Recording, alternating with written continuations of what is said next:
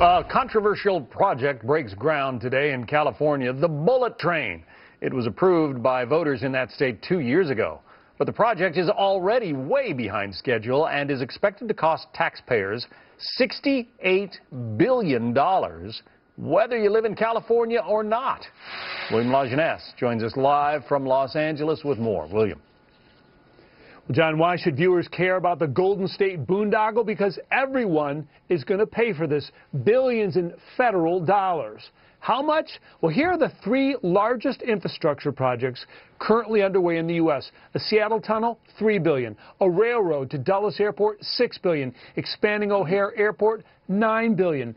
Peanuts compared to the bullet train at $68 billion. Now, President Obama okayed federal money for the project years ago, but today, 60% of voters oppose it. Why? The projected cost doubled. Construction is two years behind schedule. Completion date 13 years later than promised. And high speed, it is not.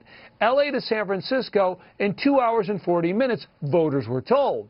After track and route changes, experts now say it's over four hours. But Governor Jerry Brown, seeing 20,000 new jobs, remains undaunted and breaks ground today in Fresno on the train.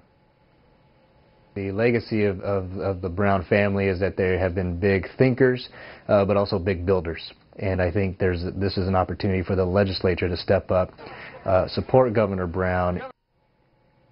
Environmental opponents say the project destroys habitat. Taxpayer watchdogs say it's a black hole that will suck money from highways and require massive operational subsidies. We're talking about real money here. Uh, these, the, this is money that's not available for health care or for education or for uh, public safety or perhaps to put back in taxpayers' pockets so they have something to spend. This is money being drawn out of the system for a program that is going to serve very few people.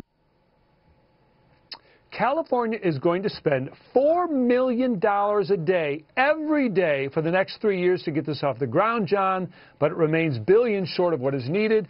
Backers hope once it gets started, opponents will be, can't derail it.